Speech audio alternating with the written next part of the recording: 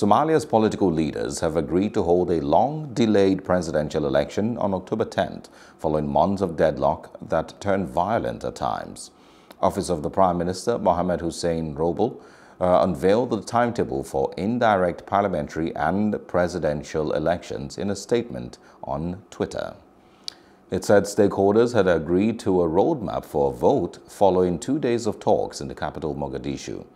Hussein commended leaders of the council and hoped the election would be a peaceful and transparent one based on the agreed upon schedule and processes.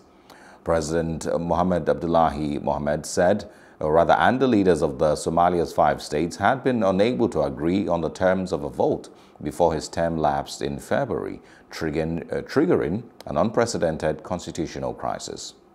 Hello, hope you enjoyed the news. Please do subscribe to our YouTube channel and don't forget to hit the notification button so you get notified about fresh news updates.